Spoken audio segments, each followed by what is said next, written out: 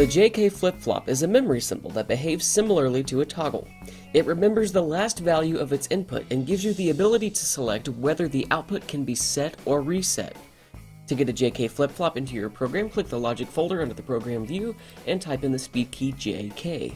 Alternatively, you can expand the memory folder under logic symbols and then click and drag the JK flip-flop over to the detail view.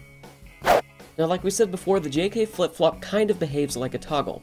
The set and reset inputs of the flip-flop set the output of the flip-flop true or false, but the clock input affects the output differently depending on the state of the J and K inputs. The J input allows the output of the flip-flop to be set true, and the K input allows the output of the flip-flop to be set false. So the clock input can only make the flip-flop true if the J input is true, and likewise the clock input can only make the JK flip-flop false if the K input is true. It's a little weird, but let's build a quick example program that'll help.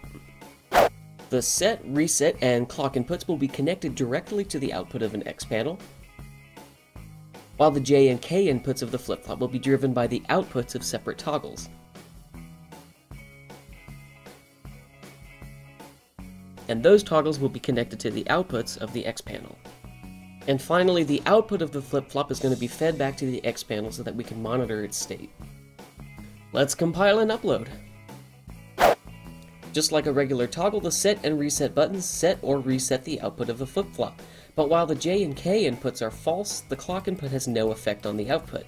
But once we set J high, the clock can set the output of the flip-flop high, but that's all it can do. It can only set the output of the flip-flop high. The K input, on the other hand, allows the clock to set the output of the flip-flop false. And the K input only allows the clock to set the output false.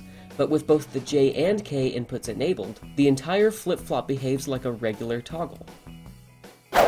So the only difference between the JK flip-flop and the toggle is the fact that the J and K inputs allow you to change the effect that the clock input has on the output.